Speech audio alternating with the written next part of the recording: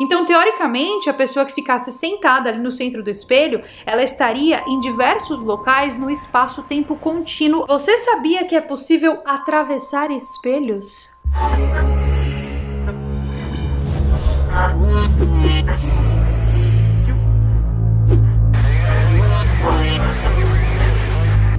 Eu vou te contar aqui hoje um caso bizarro de um experimento científico que aconteceu na Rússia. E as informações que eu vou te passar aqui dentro desse vídeo, elas vão abalar toda e qualquer célula do seu corpinho. Então se prepare. No vídeo de hoje eu vou te contar tudo sobre um experimento feito em 1990, conhecido como o espelho de Kozirev. Se você ainda não ouviu falar sobre essa história, vale a pena prestar atenção aqui. Dois estimados cientistas, o Dr. Alexander Trofimov e o Dr. Vlail Karnachev, eles construíram uma câmara de metal estranha em seu laboratório experimental na Sibéria, na Academia de Ciências da Rússia. A ideia era conduzir um experimento de percepção extrasensorial para entender a habilidade da mente humana de receber informações invisíveis através de mensagens psíquicas. Mas o que eles não sabiam e eles nem podiam imaginar é que essa câmara os levaria para o evento mais bizarro que já foi registrado na história do Polo Norte até os dias de hoje. A câmara que eles construíram era um cilindro feito de alumínio polido e eles chamaram essa câmara de espelho de Kozyrev. O nome do aparato foi dado graças ao famoso astrofísico Nikolai Alexandrovich Kozyrev, que depois de 10 anos de isolamento forçado fez uma das maiores descobertas de sua vida. Alguma vez você já ouviu falar da teoria do tempo de Kozyrev? Enfim, ele postulou e criou criou essa teoria e também criou um aparato teórico que ele não conseguiu terminar porque ele morreu subitamente em 1983. Depois de muitos anos de experimentos mentais,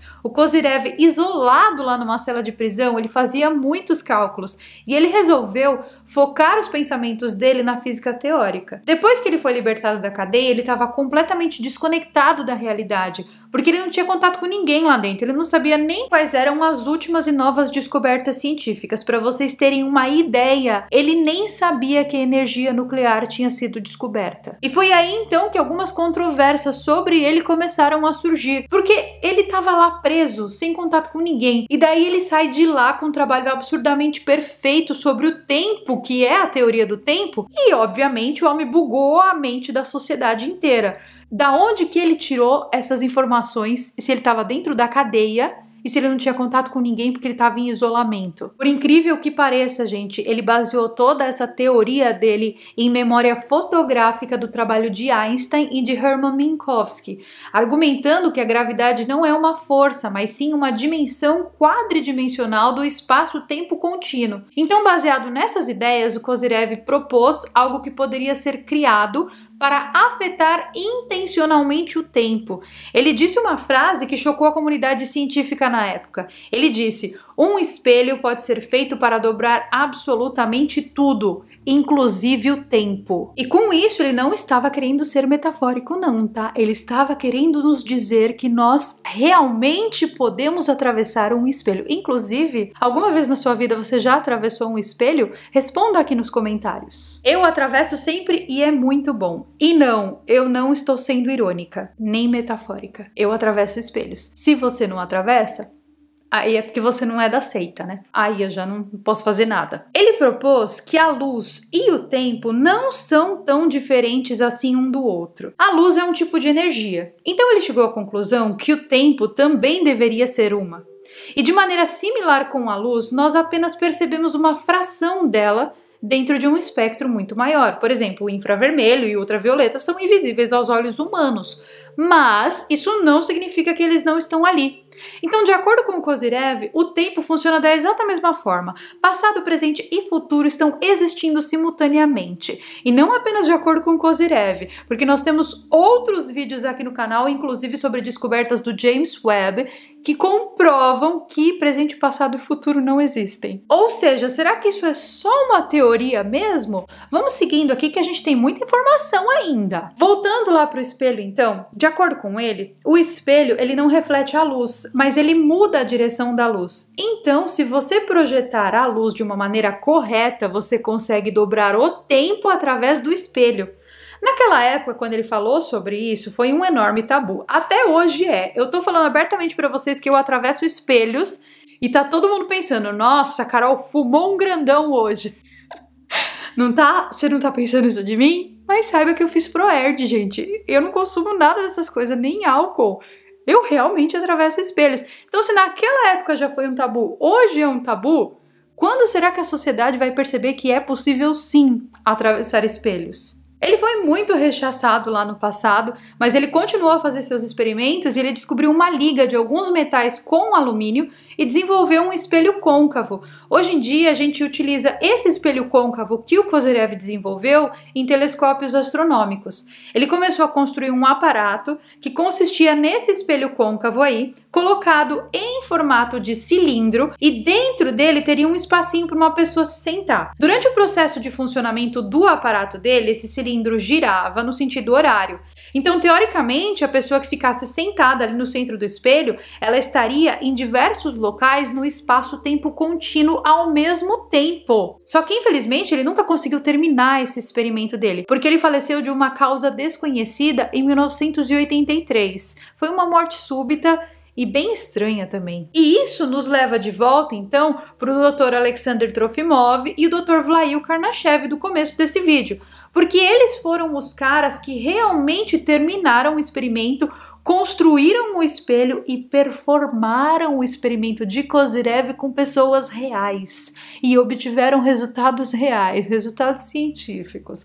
O negócio, olha, se você não está preparado ainda porque você vai ouvir aqui dentro desse vídeo, prepara. O experimento realmente funcionou e o que eles viram ali não foi nada bonito. Eles levaram o dispositivo para um vilarejo remoto na região da Sibéria, numa cidade que se chama Dixon. E esse local foi escolhido a dedo por eles, porque, segundo eles, a camada do permafrost da Sibéria guarda informações de centenas de milhares de anos do mundo. E se você não sabe o que é permafrost, eu recomendo que você assista a esse vídeo aqui do canal, onde eu explico não só o que é permafrost, mas também o motivo pelo qual o derretimento do permafrost é muito perigoso para nós humanos. Depois que eles concluíram o experimento, eles escreveram um livro sobre esse experimento chamado Cosmic Consciousness of Humanity, que é inclusive o livro que eu estou utilizando para fazer esse vídeo aqui. Então, o que eles viram dentro do espelho, mesmo sendo coisas perturbadoras, são eventos documentados, cientificamente documentados. Eu vou descrever a partir de agora nesse vídeo exatamente o que eles viram e é extremamente perturbador. Então você permaneça nesse vídeo aqui apenas se você tiver certeza do que você quer ouvir. Primeiro, gente, quando tudo começou, quando o experimento começou, todo mundo começou a sentir muito medo. Todas as pessoas envolvidas na pesquisa,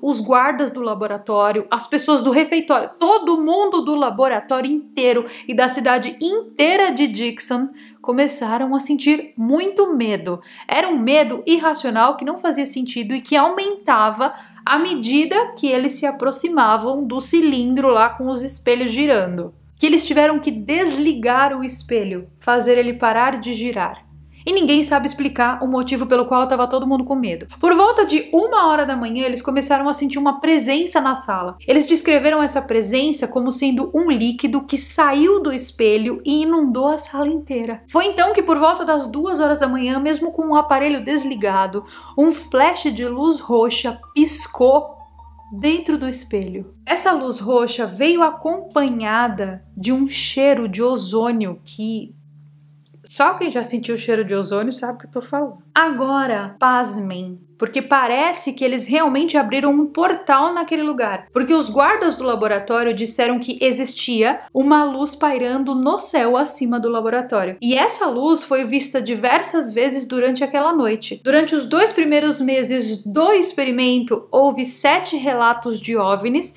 e de objetos no céu acima do laboratório. No Natal, em 25 de dezembro, eles finalmente conseguiram entrar na câmara para performar o experimento. E estranhamente, todos que entravam na câmara do espelho de Kozyrev viam símbolos símbolos brilhantes que passavam pelas cabeças deles e estavam por todas as partes. Os experimentos do laboratório de Dixon então seguiram por seis meses e vocês estão vendo agora os desenhos dos símbolos que os cientistas viram dentro do espelho. E mesmo não tendo contado um para o outro que eles viram, todos viam os exatos mesmos símbolos. Isso é muito estranho, não é? Outro cara que teve uma experiência muito parecida com espelhos e símbolos foi o John Dee. Vocês lembram desse vídeo aqui que eu postei aqui no canal? Bom, eu deixarei aqui no card caso você ainda não tenha assistido, mas olha, não querendo ser assim conspiradorazinha barata, mas já sendo, parece que as histórias estão interconectadas. Então assim, coincidência? Hum, acho que não. De todos os símbolos que apareceram dentro dos espelhos, dois símbolos me chamaram muita atenção. Um deles é o olho, que é associado a Horus, né, o deus egípcio, o olho de Horus, que foi usado posteriormente pela maçonaria como símbolo. E o outro símbolo é esse aqui, que está na bandeira da paz, que foi canalizado por um cara chamado Roy Rich que criou o Pacto de Roy Rich, que posteriormente culminou na criação da ONU, que é um acordo de paz entre os países de paz entre os países, que fique bem claro. Eu tratei sobre esse assunto de Roy Rich, sobre a criação da ONU e sobre o pacto de Roy Rich em dois momentos aqui nesse canal. O primeiro foi quando eu contei a história do desaparecimento do próprio Roy Rich e depois que ele voltou desse tal desaparecimento, ele voltou com umas ideias esquisitas. Ele voltou com um pacto na mão. Se você ainda não assistiu, todos esses vídeos que eu estou mencionando aqui dentro desse vídeo também ficarão aqui embaixo na descrição, para você assistir depois no conforto do seu lar. E um outro momento que nós mencionamos esse símbolo aqui no canal foi quando eu entrevistei a Vânia Temporini, que é especialista no calendário maia. E acreditem, esse símbolo também se repete no calendário maia. Também deixarei o vídeo no card aqui em cima e na descrição caso você ainda não tenha assistido. Então, entre 1990 e 1997, eles documentaram 1.200 símbolos que saíam de dentro desse espelho. Claramente existe ali algum tipo de comunicação, uma comunicação com o lado de lá, alguma coisa que a gente desconhece. Em 1997, o Dr. Alexander Trofimov e o Dr. Vlail Karnachev, eles tiveram resultados ainda mais bizarros. Por quê? Porque eles fizeram uma parceriazinha com cientistas britânicos para levar os espelhos de Kozyrev para o Stonehenge. E, gente, performar o mesmo experimento próximo ao Stonehenge fez com que eles tivessem mensagens absurdas de seja lá o que for que existe do lado de lá. Mas até por uma questão de tempo e porque eu sei que eu já segurei vocês muito tempo aqui dentro desse vídeo, então se você chegou até esse ponto do vídeo, comente eu também atravesso espelhos aqui embaixo no comentário. Mas, atenção! Esse vídeo aqui vai ter a parte 2. Sim, eu hablo espanhol. Vai ter a parte 2, sim, e vai ser o próximo vídeo aqui desse canal. Então hoje é dia 2 de outubro, certo?